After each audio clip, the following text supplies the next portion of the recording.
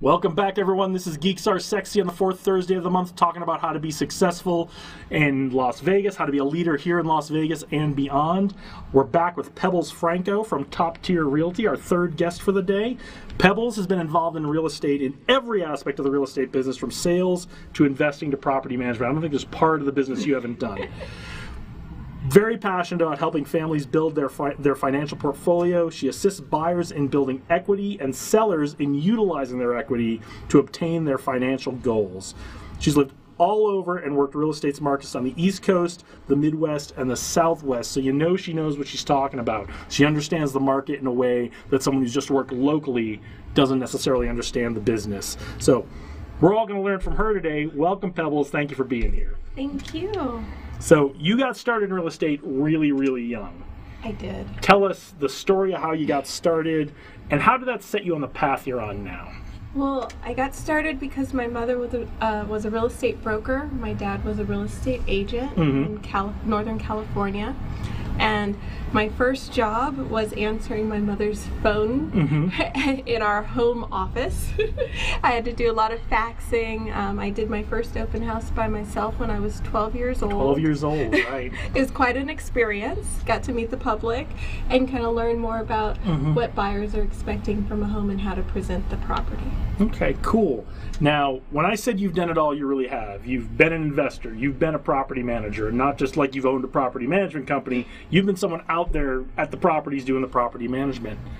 What has that taught you about the business, and how does that help you help the buyers and sellers you work with to achieve those financial goals? Well, it's funny because a lot of buyers don't know what they're looking for. They have an idea, but they don't know at the end of the day what they really are looking for. So, Mhm. what my goal is is to sit down with my clients, whether they're buyers or sellers, and find out what their real goal is. What is, Okay. is it they're trying to obtain, Okay. and then creatively find ways to get them what it is they need. What are and this is off this is off the script, but what are some of the questions you ask a buyer and a seller? I want because I want to I want people before they contact you to be thinking about these things. Well, one of the first questions I ask is I get the idea of what their goal is. Okay. So, what are you looking for? mm-hmm. What uh, do you have any pets? What are you trying to Okay. be near?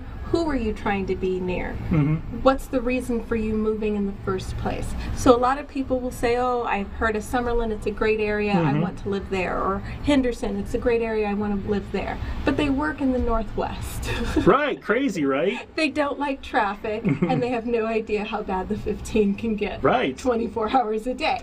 So I'm trying to find key things about their Mhm. life, their specific uh, routines, whether they like to go to a specific gym, Mhm. whether they need to be near parks, whether they have pets that want to go to the dog park on every Saturday, that kind of thing. Those are the things that I'm looking for. These are these are such important questions, and I, I I'm still in the first home I bought. I'm actually in it again after leaving with the Air Force and coming back, and it's perfect for me and my pet.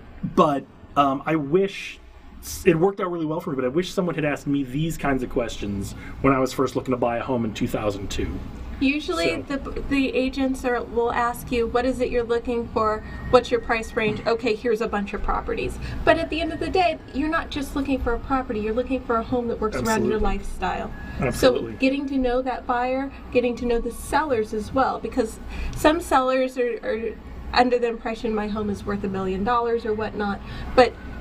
Of course, everybody would like a million dollars for their home. Well, it seems like it is because there's I Unless your home's worth more than a million dollars, saw in the then paper, call me. Saw in Um, the paper today. There's seven thousand homes in the market in the Las Vegas Valley as of yesterday, right? right now.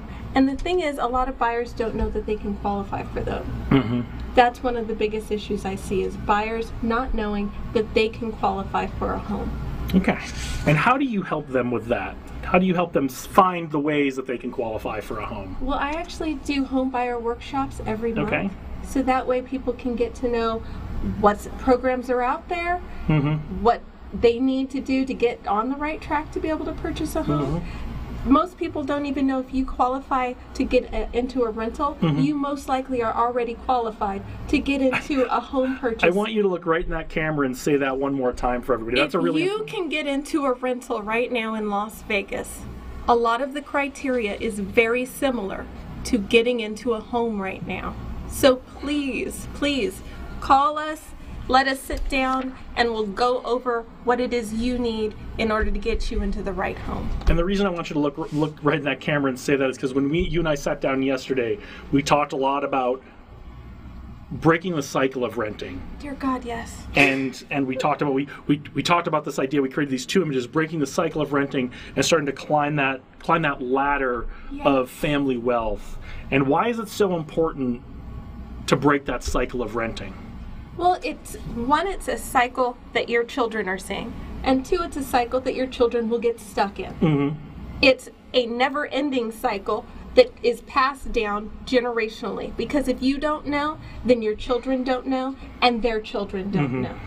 So, taking the time to understand what it is and how you can get into a home and mm-hmm. how that benefits you today, you mm-hmm. tomorrow, you next year, and your future generations is mm-hmm. so important. And nobody else will sit down and talk to these people and explain that to them And that's if really- you're not in that environment. And that's really important because if you don't have the knowledge and the experience to pass on to your kids about your own, whether whether you owned a home for a while and are renting again because it makes sense for you, mm-hmm. but to have that to be able to pass that knowledge and experience on is what your kids are really going to need to make their own choice that's right for them when they're in their 20s or 30s and they have a family, right? and set themselves up for retirement, for being able to make the financial decisions that they want to, and giving them options. That's my biggest thing. I like to give my clients options. So, so the first thing that people can do to break this cycle, if you're renting, chances are you qualify for a home loan if you're renting. So I want to make sure we say that a couple of times.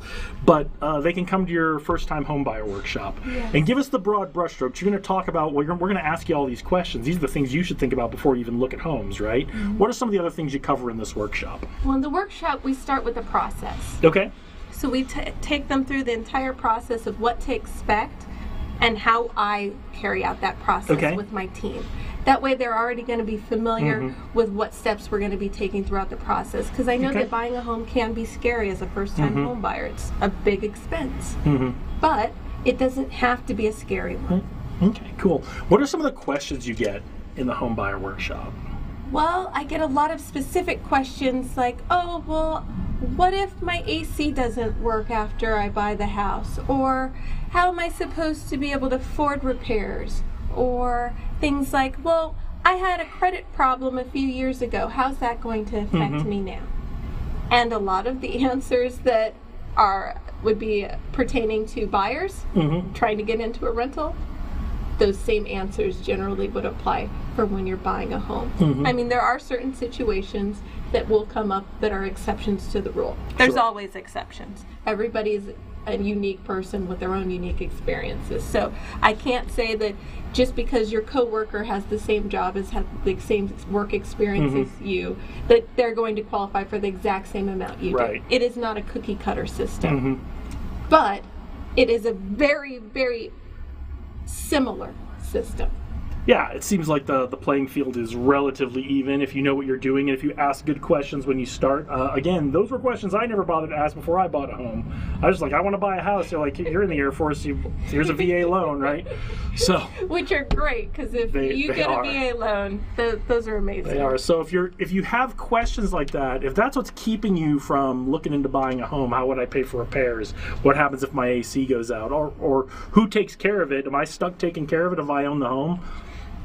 Come to Pebbles class. When are your you, you have two classes scheduled coming up, right? Um, I have one for July 30th. It'll be at Total Wine at Boca Park, and then Okay. I have another one scheduled for August 7th at the same location at Total Wine at Boca Park. Okay, great. So, classes coming up. Lots of questions. You have a process that can help people.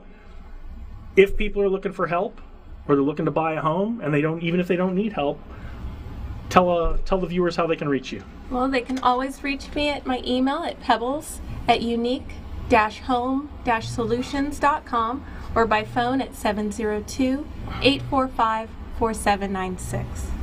Awesome. Well, thank you so much for being here today. You make me excited to go buy another house. So, so I'm not you not. can. You get VA I'm, loans. I'm not gonna.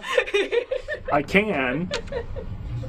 But thank you for being here today. Um, stay right there. Because we're going to bring Casey and Teresa back. Oh, we're good. gonna we're gonna have our panel discussion, and these fine ladies who've been through a lot in their business careers are going to talk about how they stick with their goals when things get really tough. So stay right here. We'll be right back.